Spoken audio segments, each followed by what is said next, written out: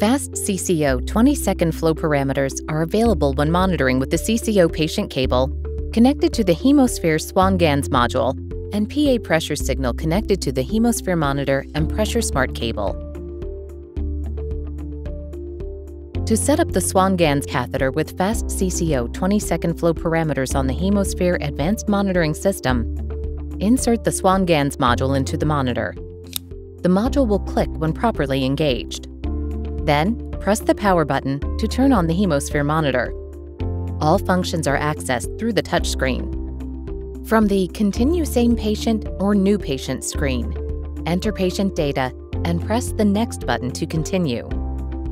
Select the Invasive Monitoring Mode button on the Monitoring Mode selection window and touch the Proceed to Setup button to begin monitoring.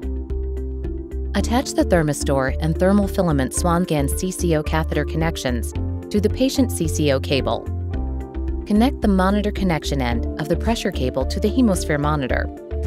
Connect the primed pulmonary artery TruWave pressure sensor to the pressure cable. Touch the zero and waveform icon located on the navigation bar or through the Clinical Tools menu or press the physical zero button directly on the pressure cable and hold for 3 seconds.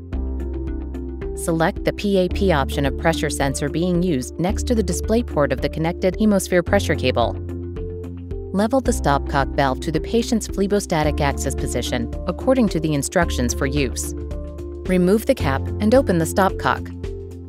Press and hold the physical zero button directly on the pressure cable for at least 3 seconds or touch the zero button located on the screen. When zeroing is complete, a tone sounds, and the message zeroed appears with the time and date. The zero button LED will stop blinking and turn off once zeroing is completed successfully. Confirm stable zero pressure and turn stopcock so that the sensor is reading patient intravascular pressure and replace non-vented cap. The zero and waveform screen enables the user to output the pressure waveform to a connected patient monitor. Plug the pressure out cable into the rear panel of the monitor at the pressure out port.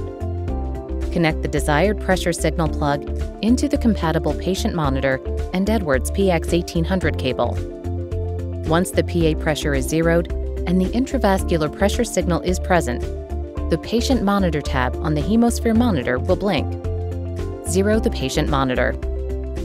Confirm that a value of 0 millimeters of mercury is displayed on the patient monitor. Then touch the Confirm button on the Patient Monitor tab of the Zero and Waveform screen on the Hemosphere monitor.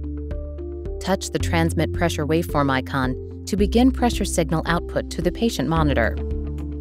A Setup Complete message will be displayed when the live waveform is being transmitted to the connected patient monitor.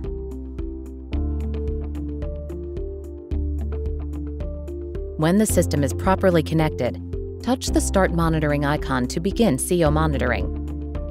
The CO countdown timer will appear on the Stop Monitoring icon. After approximately 5 to 12 minutes, when sufficient data has been obtained, a CO value will appear in the parameter tile.